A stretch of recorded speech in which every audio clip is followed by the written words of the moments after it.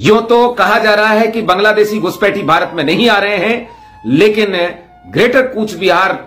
के अंदर जिसे नॉर्थ नॉर्थ बंगाल कहा जाता है, उसमें लगातार घुसपैठ जारी है। और इससे भी बुरी बात यह है कि उन घुसपैठियों को राज्य सरकार लगातार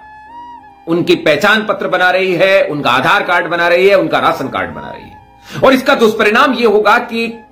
कूच बिहार रीजन में हमारे जो क्षत्रिय समुदाय रहता है, राजवंशी क्षत्रिय समुदाय, उसकी जनसंख्या अपेक्षाकृत कम होगी और ये जो बांग्लादेशी घुसपैठिए वहाँ पर आ रहे हैं, ये हमारे के स्थानीय लोगों के साथ बहुत बुरा बर्ताव करते हैं और सारी उनकी ज़मीन, जायदाद प्रॉपर्टी यहाँ तक कि उनकी इज़्ज़त के साथ भी खिलवाड़ करते हैं। भारत सरकार कह रही है कि कोई घुसपैठ अभी नहीं हो रही है, लेकिन ज़मीन में स्थिति यह है कि वहाँ पर हमारे महाराजा अनंत देव नारायण भूप बहादुर जो कि greater Cooch Behar peoples association के संरक्षक भी हैं और राज्यसभा सांसद भी हैं, वो लगातार सक्रिय हैं और वहाँ पूरी रिपोर्ट है कि बांग्लादेश के घुसपैठी गाँव गाँव में जा चुके हैं और उनके संसाधनों पर कब्जा कर रहे हैं। क्यों सरकार इस पर मुँह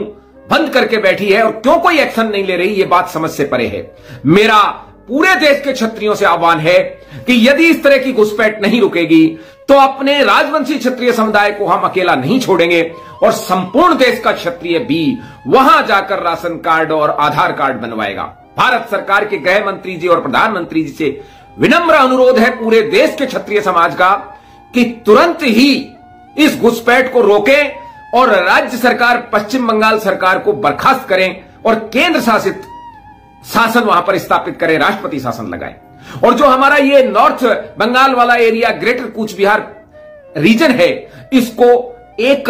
यूनियन टेरिटरी घोषित करें, ताकि उस यूनियन टेरिटरी में लॉ एंड ऑर्डर की सिचुएशन बरकरार रहे, और वहाँ के जो धरती का स्वर्ग जो है ये, इस स्वर्ग को बचाने की ये कवायद है। सब लोग एक आह्वान करें कि आओ, हम सब इस धरती के स्वर्ग कूच बिहार को बचाएँ, वरना होगा ये कि ये वहाँ पर बांग्लादेश ही बन जाएगा, और भारत का ये वाला हिस्सा भी फिर एक दिन भारत से खो जाएगा। इसी तरीके से पाकिस्तान बना, बांग्लादेश बना, और अब उनकी सोच यह है कि वो सारे यहाँ आ रहे हैं, और यहाँ आने के बाद यहाँ के लोगों पर उनका शासन स्थापित होना तय है, क्योंकि बांग्लादेश का कोई भी घुसपैठिया जहाँ आएगा जिसको नागरिकता मिलेगी, वो निश्चित रूप से यहाँ के स्थानीय लोगों के साथ वैसा ही व्यवहार करेगा, जैसा कि बंगाल के दूसरे क्षेत्र में है। तो मैं सबसे विनम्र अनुरोध करता हूँ, पूरे देश के क्षत्रियों से और क्षत्रिय संगठनों से अनुरोध करता हूँ, भारत के सभी उन सनातनी संगठनों से अनुरोध करता हूँ, जो भारतीय सभ्यता, संस्कृति और सनातन में विश्वास करते हैं। भारत सरकार के प्रधानमंत्री और गृह मंत्री जी की जो गूँगे और बहरे हो चुके हैं, उनको चेताने के लिए सभी अपने अपने स्तर पर ज्ञापन दें, चेतावनी दें। समस्त सामाजिक संगठन जो जिस एरिए में भी है, वो वहीं से अपना विरोध प्रदर्शन करे और भारत सरकार को यह लिखे कि धरती के इस स्वर्ग को, इस कूच विहार को बचाएँ, क्योंकि यदि यह स्वर्ग नहीं बचेगा तो भारतीय सभ्यता और संस्कृति का इतिहास भी जाता रहेगा। ये वही धरती है जहाँ राजमाता गायत्री देवी का जन्म हुआ था। यह वही धरती है जहाँ महाराज जगदीपेंद्र नारायण का जन्म हुआ था और उन्होंने भारत को ही नहीं, बल्कि विश्व के उन सभी गुलाम देशों को आज़ादी दिलाने में महत्वपूर्ण भूमिका निभाई द्वितीय विश्व युद्ध में।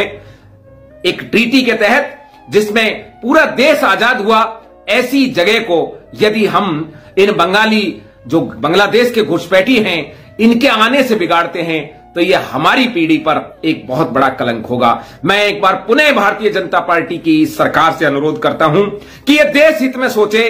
ये भारतीय सभ्यता और संस्कृति के